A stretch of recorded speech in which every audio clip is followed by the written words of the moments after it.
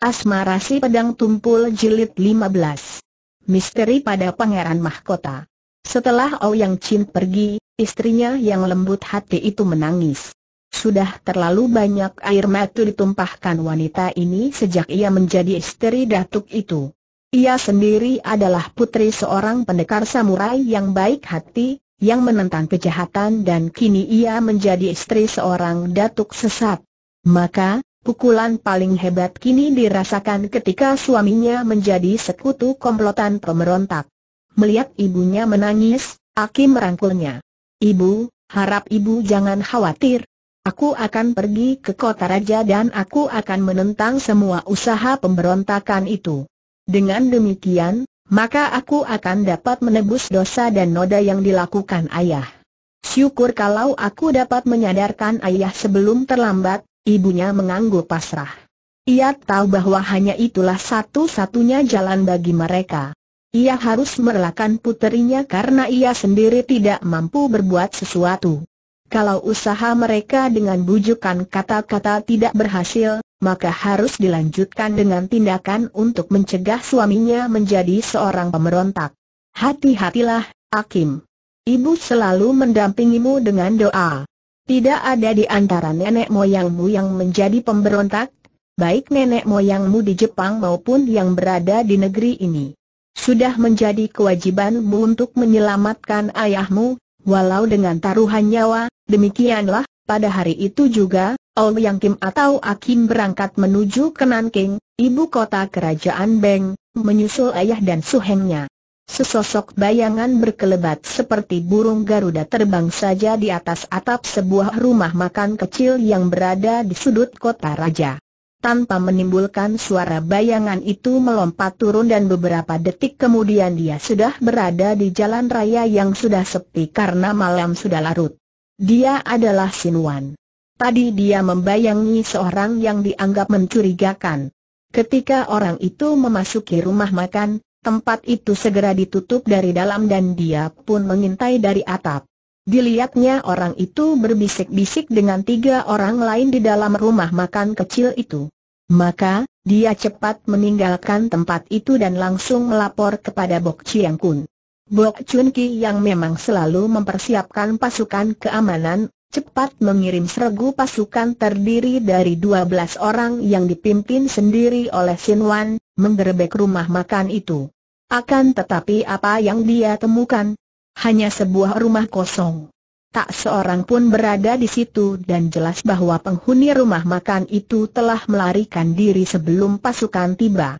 Padahal, dia bergerak cepat dan tidak ada yang mengetahuinya. Sin Wan merasa penasaran sekali.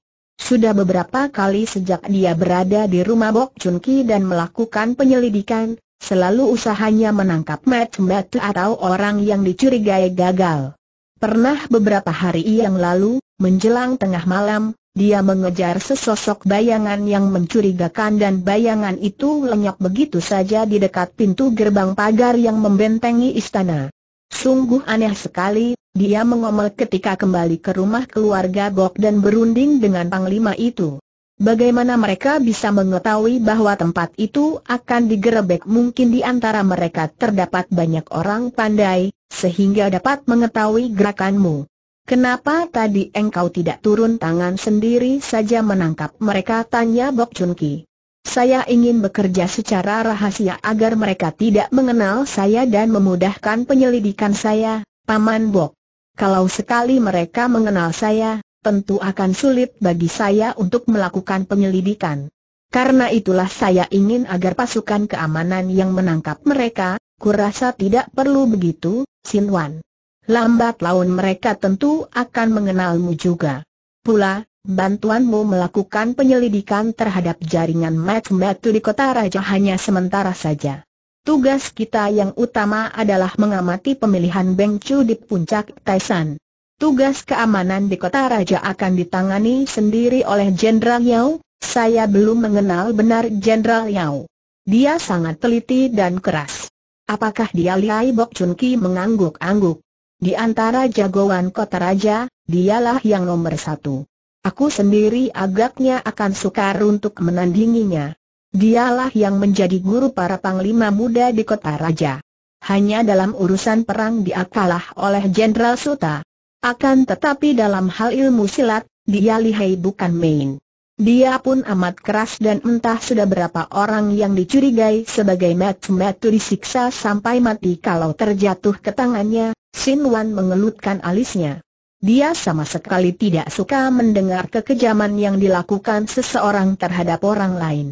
Akan tetapi dia maklum bahwa begitulah kenyataannya. Kalau manusia sudah saling bermusuhan, apalagi dalam perang, maka tidak ada makhluk lain di dunia ini yang lebih kejam daripada manusia.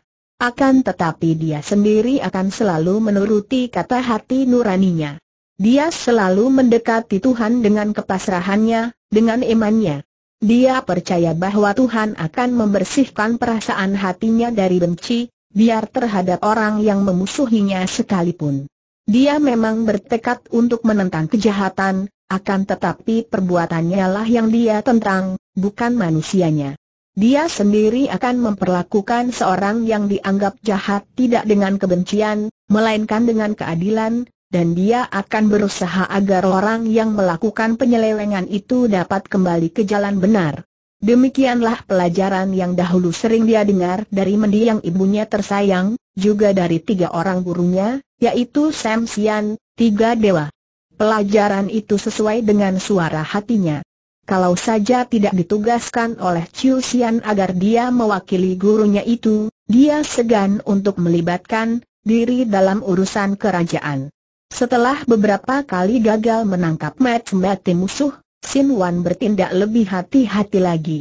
Beberapa hari kemudian, pada suatu malam ketika dia melakukan pengintaian sambil bersembunyi, dia melihat bayangan hitam berkelebat cepat sekali di dekat pagar tembok istana. Tentu saja dia menjadi curiga, khawatir kalau ada mati-mati musuh menyelundup ke istana dan melakukan kejahatan. Biarpun dia tahu bahwa Kaisar sendiri dilindungi banyak pengawal yang rata-rata merupakan jagoan istana yang liai, namun kalau ada orang luar menyelundup masuk ke istana Kaisar maka hal itu amatlah berbahaya bagi keselamatan keluarga Kaisar. Dia pun cepat membayangi orang itu. Akan tetapi, agaknya bayangan itu meragu dan tiba-tiba dia mengubah tujuan, tidak jadi melompati pagar tembok, melainkan membalik dan meninggalkan tempat itu. Sin Wan sudah maklum bahwa orang itu memiliki ilmu berlari cepat yang tinggi, dan tubuhnya kelihatan ringan bukan main, maka dia menjadi semakin curiga dan ingin sekali mengetahui apakah orang itu termasuk kawan ataukah lawan. Dia tahu bahwa pemerintah sendiri menyebar banyak penyelidik yang berilmu tinggi, maka melihat bayangan itu, tentu saja dia tidak dapat memastikan apakah orang itu mata-mata pemerintah ataukah match-match musuh. Maka, dia cepat membayangi ke mana orang itu pergi. Sin Wan bergerak dengan hati-hati sekali karena membayangi seorang yang memiliki gerakan ringan seperti itu, amat berbahaya dan setiap saat dapat saja orang itu memergokinya. Benar dugaannya. Pada saat orang itu berlari cepat, Tiba-tiba saja orang itu berhenti dan membalik. Akan tetapi Sin Wan lebih cepat lagi. Tubuhnya sudah bertiarap di tempat gelap sehingga tidak mungkin orang itu melihatnya. Orang yang dibayanginya itu kembali melanjutkan perjalanannya dan Sin Wan kagum. Seorang yang cerdik, pikirnya. Kalau dia kurang cepat sedikit saja menjatuhkan diri bertiarap dalam bayangan gelap sebuah rumah, tentu dah akan diketahui dan akan sia-sialah pengintaiannya. Akhirnya, dari jarak yang agak jauh, dia melihat bayangan itu tiba di luar pagar tembok yang mengelilingi sebuah gedung besar, lalu bayangan itu membalik lagi, melihat ke sekeliling, kemudian barulah meloncat ke atas pagar tembok itu dan menghilang. Sin Wan termenung. Sebelum melakukan penyelidikan, dia sudah mempelajari seluruh keadaan kota raja dan dari Bok Chiang pun dia memperoleh gambaran mengenai gedung-gedung besar yang penting. Dia tahu bahwa gedung yang dimasuki bayangan itu adalah sebuah gedung peristirahatan di luar istana yang menjadi milik Pangeran Chu Hui San, putra mahkota. dia sudah mendengar banyak tentang pangeran itu dari Bok Chiang Kun yang menceritakan dengan bisik-bisik bahwa pangeran yang menjadi calon pengganti kaisar itu adalah seorang yang setiap hari hanya berenang di dalam lautan kesenangan.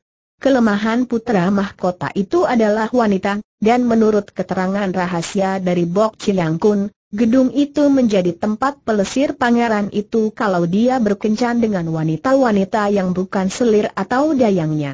Dia tidak tahu apakah malam itu Seng Pangeran berada di gedung itu ataukah tidak, akan tetapi bagaimanapun juga, timbul kekhawatirannya. Bukan tidak mungkin ada macam-macam masuk untuk membunuh pangeran yang menjadi calon kaisar karena hal ini akan menguntungkan pihak musuh dan akan mengacaukan keadaan. Berpikir demikian, Sin Wan lalu mendekati pagar tembok, mencari bagian yang gelap dan sepi di sebelah belakang dan tubuhnya melayang naik seperti seekor burung Garuda saja, melompati pagar tembok dan beberapa detik kemudian dia sudah berada di taman bunga yang berada di belakang gedung. Sin Wan menggunakan kepandaiannya, mengerahkan ginkang, ilmu meringankan tubuh, menyusup dan menyelinap di antara pohon-pohon dan semak di taman itu, mendekati gedung. Sunyi saja di sekitar gedung dan hal ini dia artikan bahwa malam itu Seng Pangeran tidak berada di situ. Kalau Seng Pangeran Mahkota berada di situ, tentu terdapat pasukan pengawal yang menjaga keamanan.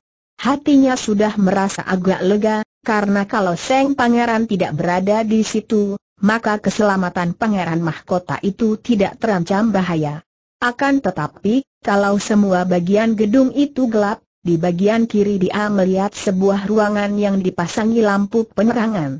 Cepat dia menyelinap dan tak lama kemudian dia sudah mengintai di luar jendela ruangan itu. Sebuah ruangan yang luas dan nampak tiga orang duduk berhadapan terhalang meja.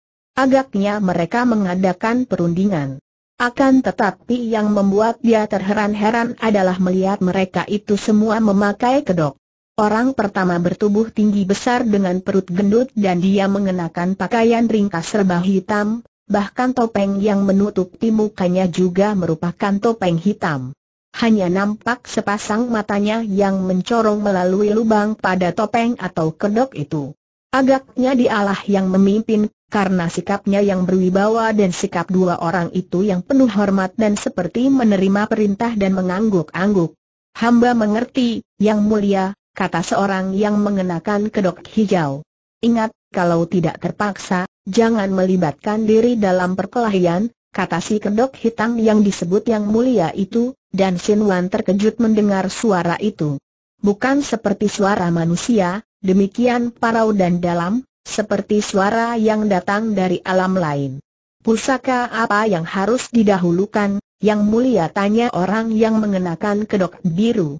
Apa saja, yang penting pusaka kerajaan Goan, dan kalau ada, dahulukan cap-cap kebesaran atau bendera-bendera tanda kekuasaan, juga pedang-pedang tanda kekuasaan. Selagi orang berkedok hijau hendak bicara, tiba-tiba si kedok hitam memberi isyarat agar dia diam, dan tiba-tiba saja dia memutar tubuh ke kanan, tangannya bergerak dan sinar hitam meluncur dengan cepat sekali ke arah jendela di mana Sin Wan mengintai. Serangan itu hebat bukan main dan ternyata ada tiga batang paku beracun yang meluncur sedemikian cepatnya sehingga dapat menembus kain jendela dan menyerang mata, tenggorokan dan dada Sinuan. Akan tetapi, pemuda ini dengan tenang namun lebih cepat dari sambaran senjata-senjata rahasia sudah melempar tubuh ke samping dan bergulingan sehingga tiga batang paku itu mengenai dinding di belakangnya dan runtuh ke lantai mengeluarkan bunyi berdenting. Ketika dia bergulingan itu, dia mendengar suara parau aneh itu memerintahkan dua orang tadi untuk segera pergi. Cepat kalian pergi, biar ku binasakan pengintai itu Sin Wan hendak melompat pergi, akan tetapi tiba-tiba saja terdengar suara keras, jendela itu pecah berantakan dan sesosok tubuh yang tinggi besar telah menyerangnya dengan dahsyat. Ternyata dia si kedok hitam dan memang orang ini luar biasa sekali. Begitu tiba di luar jendela tangannya sudah meluncur hendak menangkap dan mencengkeram pundak Sinuan. Dari sambaran anginnya saja taulah Sinuan bahwa ia berhadapan dengan seorang lawan yang amat tangguh, yang memiliki tenaga Sin Kang yang amat kuat. Dia pun cepat menggerakkan dan memutar lengan kanannya menangkis sambil mengerahkan tenaganya. Duk Sinwan merasa tubuhnya tergetar dan kuda-kudanya goyah, akan tetapi si kedok hitam itu pun terkejut dan mengeluarkan suara kaget. Wah, siapakah engkau bentaknya dan dalam suaranya yang paruh aneh itu terkandung keheranan dan kekaguman. Tentu saja dia kagum karena selama ini jarang sekali atau bahkan hampir tidak ada orang yang dapat menangkis pukulannya tadi dan membuat dia hampir terdorong mundur. Sin Wan bersikap tenang. Siapa adanya aku tidak menjadi masalah lagi karena semua orang dapat melihat diriku dengan baik. Yang menjadi pertanyaan adalah siapa engkau yang memakai kedok dan berada di gedung milik Pangeran Mahkota akan tetapi kedok hitam itu tidak menjawab dengan kata-kata, melainkan langsung saja menyerang dengan dahsyat, jauh lebih dahsyat daripada tadi. Sin Wan mengenal serangan berbahaya, tubuhnya bagaikan sehelai bulu burung ringannya sudah mengelak. Akan tetapi lawannya menyerangnya lagi dan ketika dia mengelak, si kedok hitam yang menjadi semakin penasaran menyerang lagi secara tertubi-tubi. Nampaknya dia hendak memukul roboh dan menewaskan Sin Wan yang dianggapnya berbahaya, namun pemuda ini tentu saja bukan merupakan lawan ringan baginya. Sin Wan selalu mengelak dan kadang kalau dia menangkis, mereka berdua terguncang hebat, tiba-tiba terdengar orang itu mengeluarkan bentakan parau seperti suara seekor biruang marah dan tubuhnya sudah berpusing seperti gasing. Sin Wan terkejut karena dari pusingan tubuh itu mencuat jari tangan yang menotok secara bertubi-tubi. Berbahaya sekali serangan ini, maka terpaksa dia meloncat ke belakang untuk menghindarkan diri. Pada saat itu, suara keributan terdengar oleh orang-orang di luar gedung dan terdengar derap kaki orang berlari-larian menuju ke gedung itu. Dan kesempatan selagi Sinwan meloncat ke belakang, si kedok hitam sudah meloncat jauh sekali meninggalkan tempat itu. Sin Wan berusaha mengejar, akan tetapi orang itu sudah menghilang seperti ditelan kegelapan malam. Dia pun tidak memperdulikan orang-orang yang berdatangan, lalu meloncat dan menghilang pula. Sin Wan teringat akan percakapan yang didengarnya tadi, maka dia pun langsung berlari cepat menuju ke gedung pusaka, di mana tersimpan semua pusaka berharga milik kerajaan. Dari percakapan tadi dia menduga bahwa si kedok hijau dan kedok biru agaknya ditugaskan oleh atasannya tadi untuk mencuri pusaka dari dalam gedung pusaka. Di mana lagi pusaka-pusaka dicuri kalau bukan di gedung pusaka, demikian pikirnya dan cepat dia pun pergi ke tempat itu. Dugaannya memang tepat. Ketika dia meloncat naik ke atas gedung pusaka, dia melihat bayangan dua orang baru saja melayang keluar dari dalam gedung itu, dan dia pun melihat beberapa orang penjaga diam tak bergerak di tempatnya, ada yang sedang duduk dan ada yang rebah. Mereka itu seperti patung saja dan dia pun dapat menduga bahwa tentu orang-orang yang melakukan penjagaan di luar gedung pusaka itu telah dibuat tidak berdaya oleh totokan dua orang yang lihai itu. Cepat dia melompat ke atas bagian yang paling tinggi di mana terdapat dua orang itu, akan tetapi si bayangan itu segera melarikan diri dengan berpencar. Tentu saja dia tidak mungkin dapat mengejar keduanya, maka secepat kilat dia meloncat ke arah bayangan terdekat dan begitu dekat dia langsung mengirim serangan dengan jurus paling ampuh dari ilmu Sam Sian Sin Siang, tangan sakti tiga dewa. Andai kata orang itu memiliki ilmu kepandaian beberapa kali lipat daripada tingkatnya yang sekarang pun belum tentu dia akan mampu menghindarkan diri dari serangan dahsyat ini.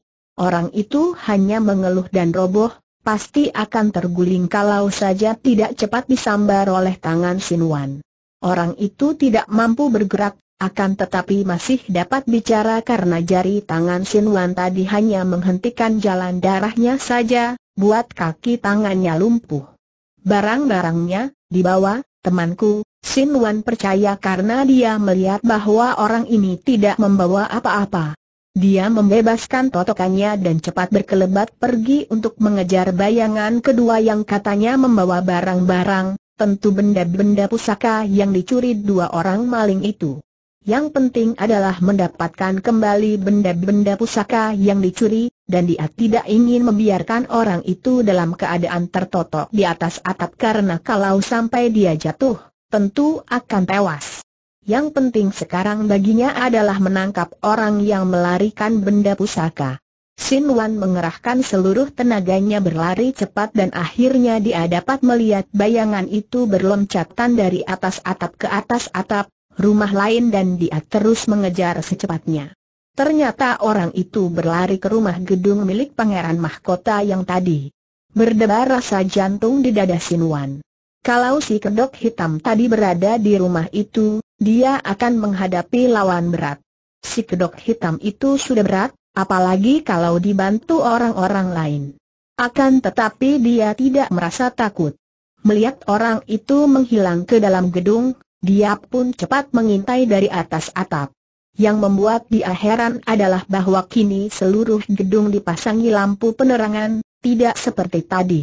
Dia mengintai ke ruangan tengah dan betapa kaget dan herannya melihat Pangeran Mahkota Chu Hui San berada di situ, duduk menghadapi meja panjang ditemani empat orang wanita muda yang cantik-cantik. Dari pakaian mereka Sin Wan tahu bahwa empat orang wanita itu pasti bukan selir atau dayang dari istana. Agaknya Seng Pangeran Matu Keranjang itu sedang bersenang-senang ditemani empat orang wanita panggilan. Anehnya, kenapa baru sekarang pangeran itu berada di situ sedangkan tadi, hanya kurang lebih dua jam yang lalu, belum ada? Dan kini di sekeliling gedung itu terdapat pengawal, tidak seperti tadi. Bagaimana si pencuri pusaka dapat masuk ke situ tanpa diketahui pengawal? Kalau bersembunyi, dapat bersembunyi di mana? Sinuan meragu.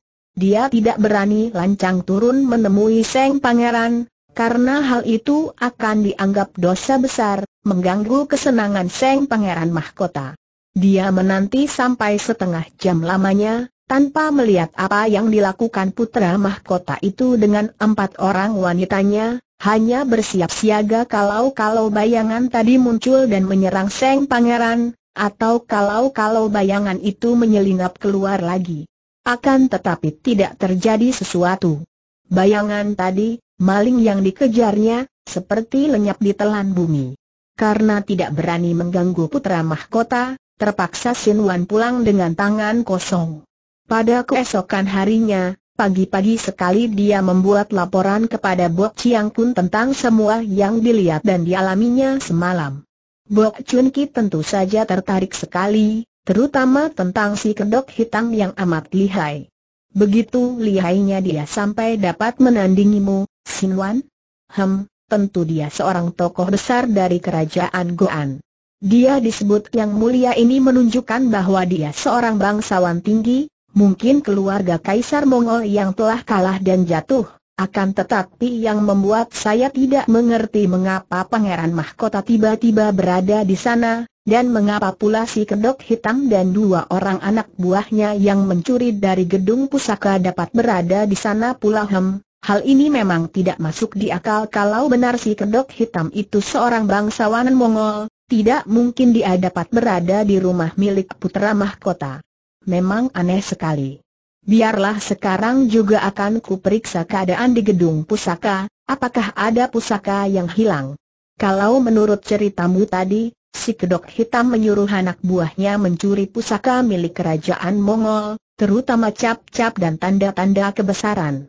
Sebentar saja Bok Chun Ki memperoleh berita bahwa gedung pusaka memang kecurian barang yang bagi kerajaan Beng tidak berharga, hanya disimpan di situ sebagai benda sejarah, yaitu tiga buah cap kebesaran kaisar dan sebuah pedang tanda kekuasaan kaisar Mongol. Jelas, pencurinya tentulah Mat-Mat Mongol seru Bok Chun Ki. Akan tetapi bagaimana mungkin jaringan Mat-Mat Mongol dapat bersembunyi di rumah pangeran mahkota? Hal ini perlu penyelidikan, akan tetapi harus hati-hati sekali agar jangan sampai putra mahkota merasa tersinggung.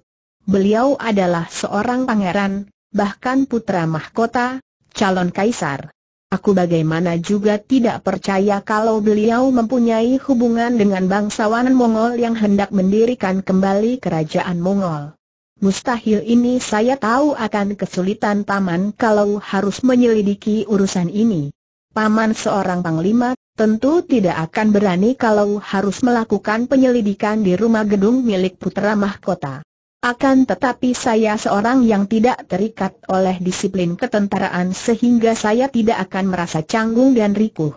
Apalagi saya membawa tanda kekuasaan dari Sri Baginda Kaisar yang saya terima dari suhu, Bok Chun Ki mengerutkan alisnya. Akan tetapi, bagaimana kalau Pangeran Mahkota marah? Sekali dia memberi isyarat, para jagoan istana akan mengeroyok dan membunuhmu dan kalau engkau melawan, berarti engkau telah menjadi pengkhianat dan pemberontak Sin Wan menggeleng kepala dan tersenyum. Saya kira tidak akan begitu, Paman.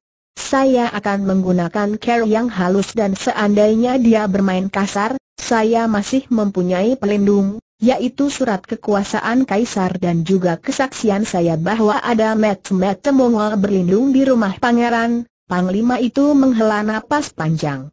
Urusan ini memang penting sekali, dan akan dia bicarakan dengan atasannya, yaitu Jenderal Suta. Baiklah, Sinwan. Akan tetapi berhati-hatilah aku amat membutuhkan bantuanmu pada pemilihan Beng Chu kelak. Dan sebaiknya hal ini ku sampaikan dulu kepada Jenderal Suta, pada keesokan harinya, pagi-pagi sekali Bok Chiang Kun berkunjung ke benteng. Akan tetapi, ternyata dia tidak bertemu dengan Jenderal Suta yang belum datang, dan hanya bertemu dengan wakilnya, yaitu Jenderal Yao Ti.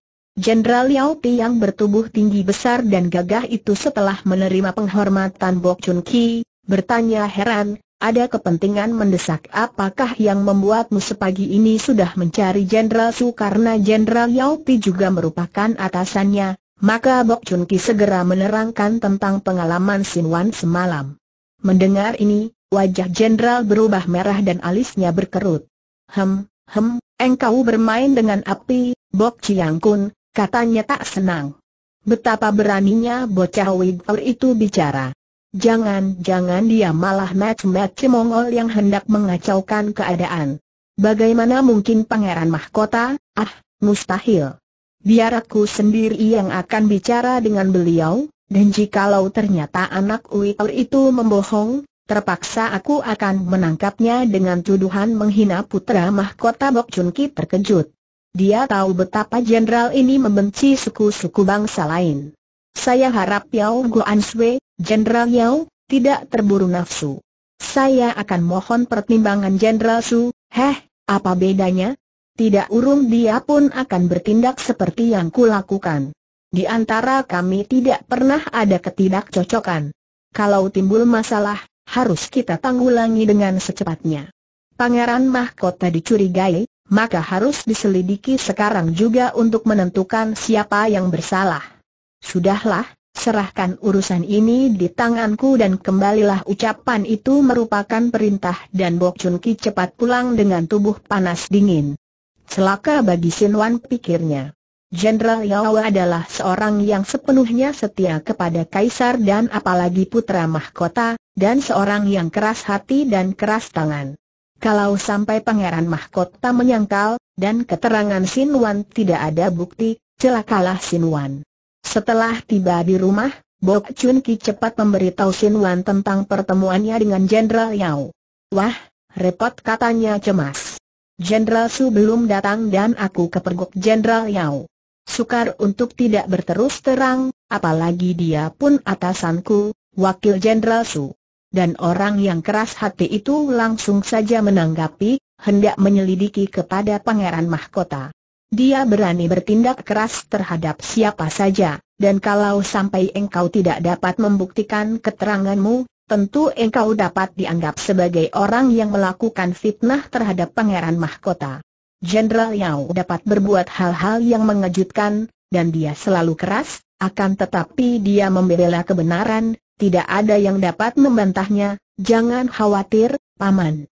Saya berpegang kepada kebenaran dan saya yakin bahwa Tuhan yang Maha Adil akan selalu melindungi orang yang berada di pihak benar, Bok Chun Ki menghela napas panjang. Akan tetapi, semua orang akan mengaku benar, Sinwan, untuk membela tindakannya, saya mengerti, Paman. manusia dapat dibohongi, akan tetapi Tuhan tidak. Tuhan Maha mengetahui sehingga akan mengetahui pula siapa benar siapa yang salah. Karena saya yakin bahwa saya benar, tidak melakukan fitnah dan tidak berbohong, maka saya berani menghadapi segala resikonya. Bok Chun Ki menghela napas panjang dan memandang pemuda itu dengan kagum. Engkau seorang gagah sejati Sinuan. Air, kalau dahulu mudaku aku dapat bersikap sepertimu, tentu sekarang tidak akan menanggung akibatnya. Nah, kalau begitu terserah kepadamu, Sinwan, pemuda itu maklum bahwa Panglima ini tentu teringat akan permusuhannya dengan Bico Asian Li Chu Suiin, akan tetapi dia tidak menanggapi urusan yang amat pribadi itu. Saya hanya minta agar Paman suka mengusahakan saya dapat menghadap Pangeran Mahkota sekarang juga, baik akan kutemui kepala pengawal istana yang ku kenal baik. Apalagi engkau memegang tanda kekuasaan dari Sri Baginda Kaisar, tentu tidak sukar bagimu untuk menghadap beliau, benar saja, dengan bantuan Bok Chun Ki, tidak sukar bagi Sin Wan untuk memasuki istana dan dia pun segera diantar pengawal menuju ke gedung tempat tinggal Pangeran Chu Hui San, putra mahkota. Dan suatu kejutan yang sama sekali tidak disangka-sangka oleh Sin Wan menyambutnya ketika dia memasuki kamar tamu dan duduk di ruangan luas itu setelah dipersilakan pengawal untuk menunggu di situ. Kejutan itu muncul bersama Pangeran Chu Hui Pangeran berusia 40 tahun yang tinggi kurus, bermuka pucat dan bermata cekung, pesolek dan tubuhnya nampak lemah itu muncul bersama seorang pria tampan berusia 35 tahun, berpakaian sebagai seorang sastrawan, lembut dan wajahnya cerah dihias senyum, tangan kirinya memegang sebuah kipas putih yang sesuai pula dengan pakaiannya yang serba putih indah, dan seorang gadis yang membuat Sinwan terbelalak karena gadis cantik yang tersenyum simpul itu bukan lain adalah Teng Bwe Eli atau Lili. Sebagai seorang yang tahu sopan santun, Sin Wan yang sudah mendapat kegambaran tentang pangeran mahkota dan yakin bahwa dia berhadapan dengan pangeran itu, segera bangkit dari tempat duduknya dan menjatuhkan diri berlutut dengan kaki kiri memberi hormat. Pangeran Chu Hui San memandang kepada Sin Wan dengan alis berkerut. Jelas bahwa kunjungan seorang pemuda biasa di pagi hari itu, ketika tubuhnya masih terasa lelah dan malas bangun, mengganggunya. Akan tetapi kepala pengawal mengatakan bahwa pemuda yang mohon menghadap itu adalah seorang yang memegang tanda kekuasaan kaisar dan mohon menghadap untuk urusan yang teramat penting mengenai keselamatan Seng Pangeran, maka mau tidak mau dia terpaksa bangun dan menerima tamu itu. Sin Wan, engkau yang datang ini Lili berseru, suaranya mengandung kejutan, keheranan dan juga kegembiraan. Eh haha, Engkau sudah mengenal pemuda ini, Nona Lili Seng Pangeran bertanya heran. Lili tersenyum manis dan Sin Wan melihat betapa Lili nampak sudah akrab dengan pangeran itu, bahkan sikapnya tidak sangat merendah seperti sikap orang lain terhadap seorang pangeran mahkota. Tentu saja, pangeran. Sejak berusia 10 tahun aku sudah mengenalnya Sin Wan yang masih terkejut dan heran, hanya dapat berkata dengan suara lirih, Lili, tidak aku sangka akan bertemu denganmu di sini, dia memandang kepada pria tampan yang berpakaian sastrawan, akan tetapi tidak mengenalnya. Aku belum lama berada di sini, Sinwan, menjadi pengawal pribadi yang mulia Pangeran Mahkota melihat kedua orang muda itu saling tegur dan bicara seolah-olah dia sendiri tidak berarti dan sudah dilupakan orang, Pangeran Chu Hui San menjadi marah tidak marah kepada Lili yang diperkenalkan kepadanya oleh Yao Xiu Chai, dan diangkat menjadi pengawal pribadinya karena selain gadis itu amat liai, juga cantik menarik sekali dan dia mengharapkan gadis itu sekali waktu akan menyerahkan diri kepadanya. Dia marah kepada Sin Wan yang dianggapnya telah mengganggu waktunya. Orang muda, teguran dengan suara berwibawa pengawal tadi mengatakan bahwa engkau adalah seorang yang memegang tanda kekuasaan kaisar. Benarkah itu? Kalau benar, buktikan kepada kami.